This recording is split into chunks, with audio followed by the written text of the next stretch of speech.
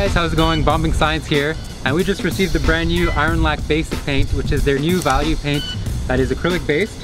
It's 280 grams compared to the usual 312, but don't let that fool you, it's the usual 400 milliliters that you're used to. It's just a bit lighter, uh, sleeker design, and I'm excited to try it out, excited to see how the paint covers, how it fares compared to regular Ironlak, if it's a good value paint, and I hope it is. I hope it's worth it because you guys can get a lot more of this paint for the same price. And I'm expecting to see a little dip in the quality but depending on your budget and what you're doing with it I'm sure that basic will be a good substitute for a lot of you out there. So let's try it out see how it fares and uh, enjoy the video.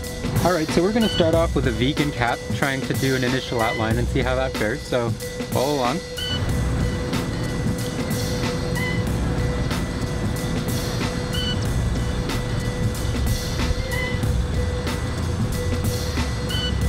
The opacity is changing on some of these lines, so I'm just shaking the can and seeing if that changes anything.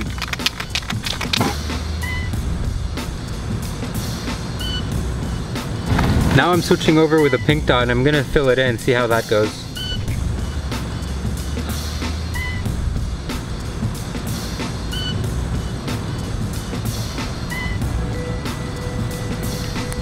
I like the way that feels, I feel like it's a bit lighter than what I'm used to, but it covers well.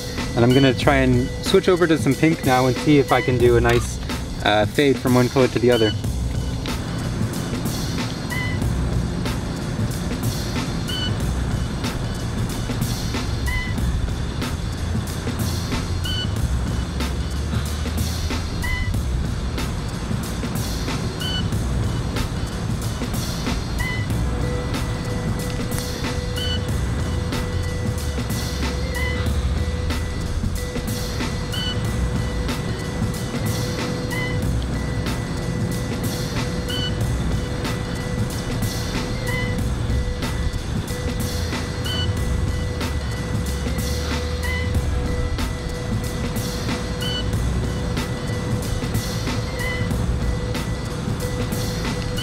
Alright, I'm switching over to the black now. Gonna do a quick outline, see how that fares.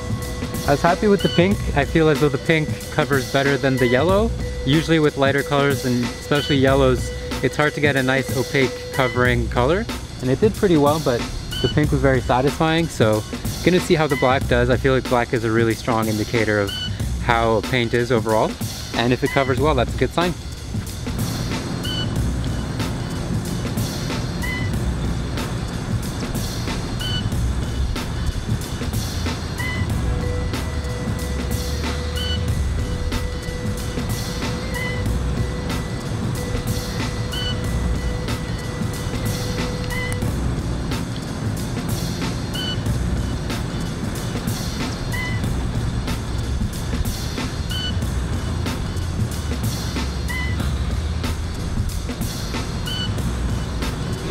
So the black did a good job covering the paint.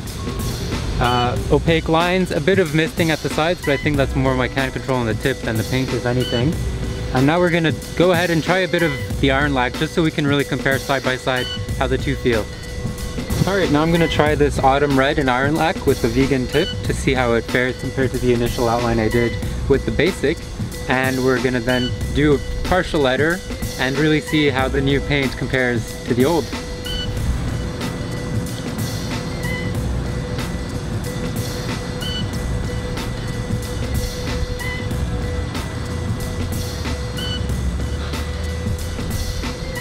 I'm going in with the basic right now, side by side and comparing how the can feels. Uh, I know it might not be very clear in the video, but I'll uh, do some zooms later and let you know how it feels.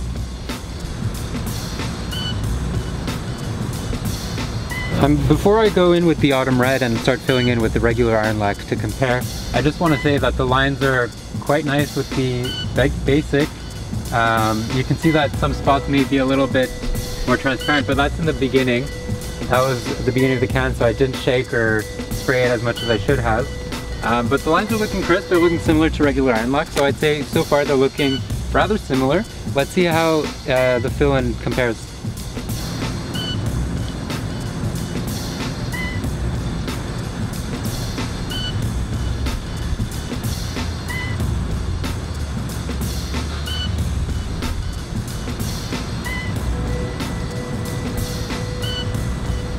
Now uh, I'm gonna go in with the black, but I just want to say that the filling in with the Ironlak feels real nice. The color feels a little bit thicker, um, and the smell is much more tuned down. The basic does have a much more pronounced smell. Um, nothing overwhelming, but it's something worth knowing because you can't tell just off the video.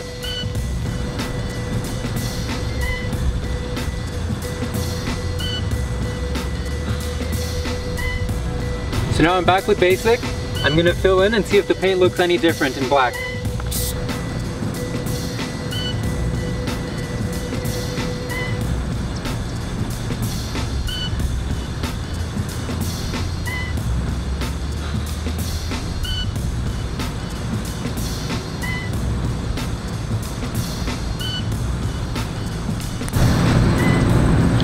So I feel as though the basic paint goes really well. It does feel as though it takes a little bit more of this paint to do the same amount of covering as with the other one, and the smell is more pronounced, but I'm finding the paint good, the value is there, and I'm gonna just play around with some more of the basic, really get a feel for it and see how uh, I'm enjoying it, and if there's anything that comes out, anything glaring, and I'll let you know uh, how that comes out.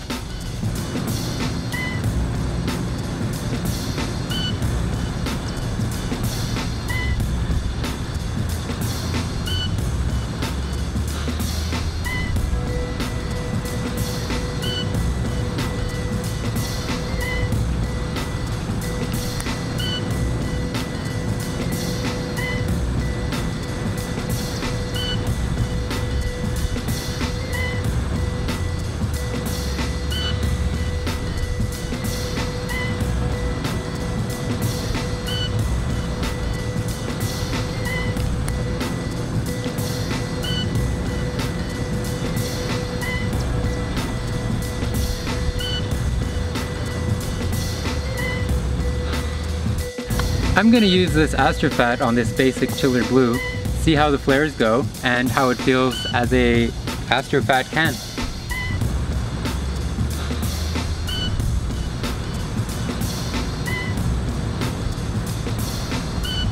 It works well, it works like you'd expect it to, no complaints there. So, so far it's working well with skinny caps, with Astrofat caps. Uh, really this paint seems to be worth its salt. I'm enjoying it and it's a lot of fun.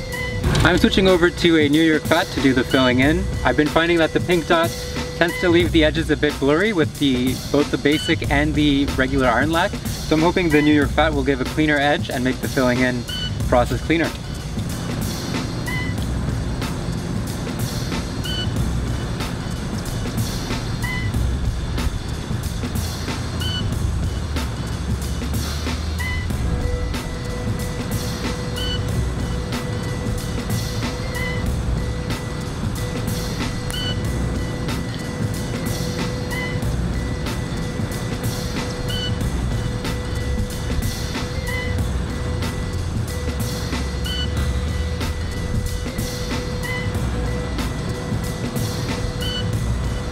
So I just did four or five layers of fresh paint over fresh paint and I was checking out how much it bleeds and it seems to be doing okay.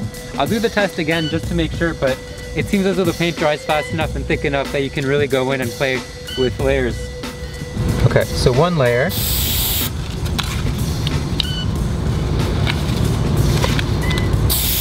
Two layers.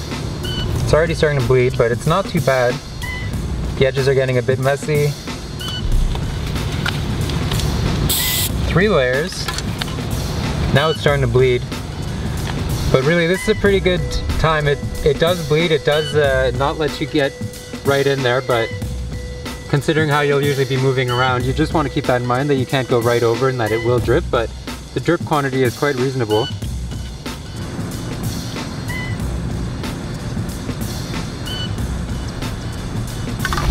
I will say, however, that over here you can see that there's three different colors to the purple. So really you want to give the can a good mix, which I didn't do, and gives this result. So make sure you're shaking your cans properly before using them, otherwise you'll get inconsistencies in the color.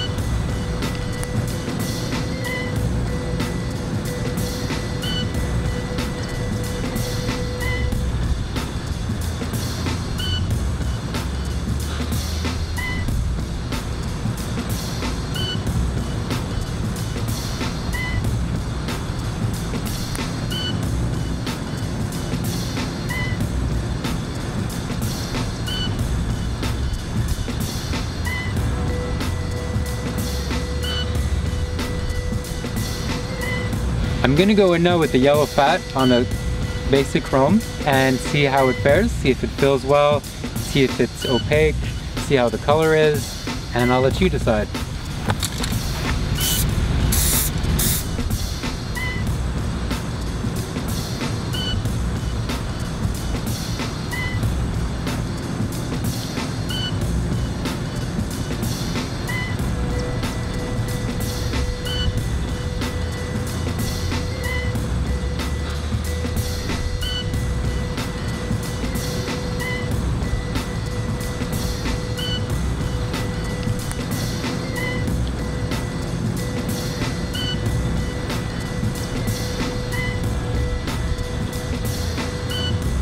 So it covers well. It's a little bit uh, on the darker side, but not too much.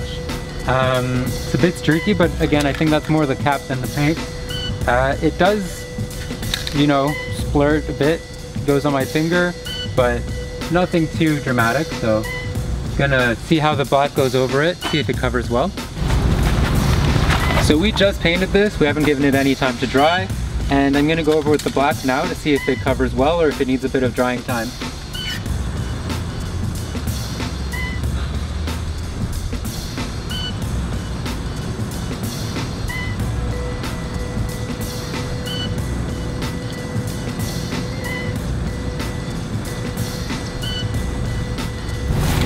So the basic black really has no trouble covering the chrome, the basic chrome, and that's a good sign. It means that uh, you can really just go out and paint, use your chromes, use your blacks. You don't need to walk around the block. You don't need to give it time to dry. So that's a really reassuring sign. Um, now we're gonna go ahead and do some hand styles, do some little line tests, see how the basic feels in terms of doing basic letter work, and um, see how that goes.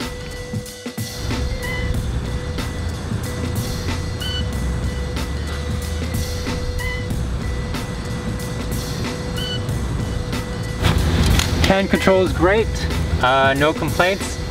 The opacity, given the rapidity of the lines, feels perfect. Um, yeah, this is good paint.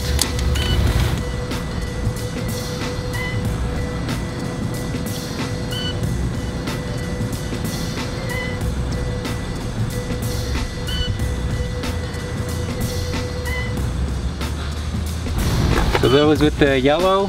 It's a bit transparent over the purple, so you gotta keep in mind that the yellow is not perfectly opaque. Um, it is a color that's best used, you know, maybe in transparency or in several layers. So maybe just keep that in mind next time you're ordering basic online. I'm gonna do some quick highlights with the basic white on this A and on the Chrome D. I'm gonna try two different styles, one where the opacity changes and one where it's regular, and see how this white fares, see if it's opaque enough, if you need to be careful, and what kind of highlights function well with this kind of paint.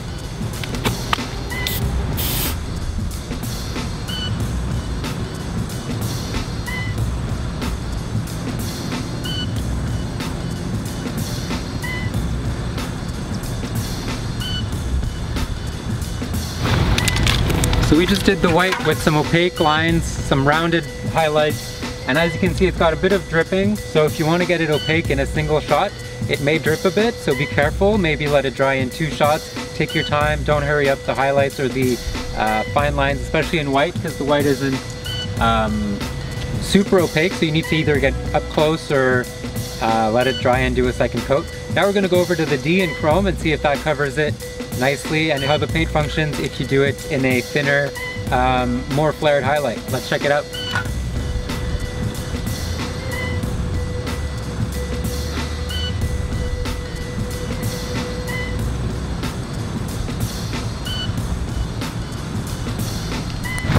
Yeah, so I'd say that's a much better approach. It's a bit messy over here. I did a lot of, um, I did some hand styles and I did a lot of extra lines in the black to test out how the black covered the silver.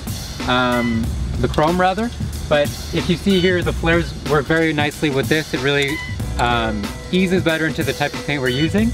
Um, it's not perfectly opaque, but you just let that happen. You let it be the way that it is, and you work accordingly. You let the paint um, do what it does best instead of forcing it to try to be a different type of paint, and you'll get better results. So all in all, I'd say that the basic is a good paint.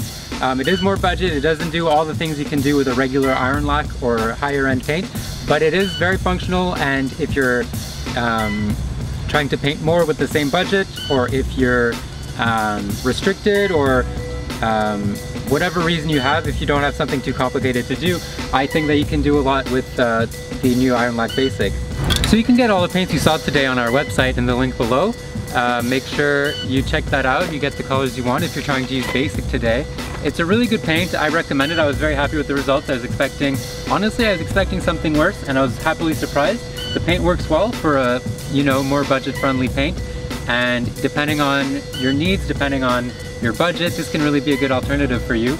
Um, so all our paints are available on our website and make sure you like, subscribe, and comment if you enjoyed this video, if you have questions, if I did anything wrong, if I messed up, be sure to let me know in the comments. Have a great day. Thank you guys.